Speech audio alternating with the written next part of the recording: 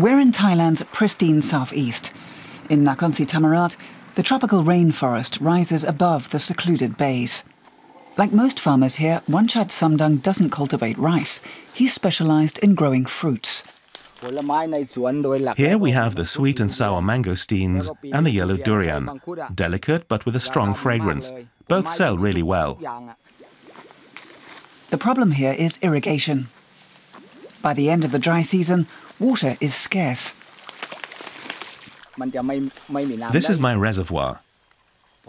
During the rainy season, it fills up on its own. The water trickles down the slope and irrigates the fruit trees.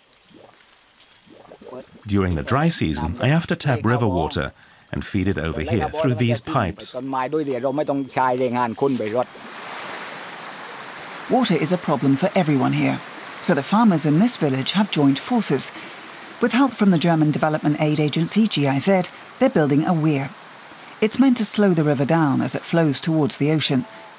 The sacks are biodegradable. They leave behind what's inside them sand and stones. We tried it before using cement, but that's a dead material that's destroyed by the water. And that's why we use bamboo and other natural materials. That's why we call it a living weir. The weir slows the river down. That way, more water trickles into the surrounding nature, allowing it to rejuvenate. Saplings on the edge of the dam will hopefully take root and provide additional stability to keep back the floods during the rains. The local community is strengthened by work together on the project. Everyone pitches in, though some aren't here by choice. I'm doing community work because I failed a drug test.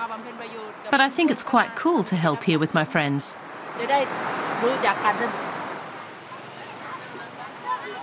Meanwhile, work continues on the dam. Now, school children are lugging the sacks. Many are simply enjoying the cool water. Farmer Wanchat Samdang wants to check the progress. I think we'll be done by the end of the year. And then all the villages at the Tadi River here will benefit from our living weir. Now the sky is heavy with rain, and soon it begins pouring down. The first big monsoon of the year has come.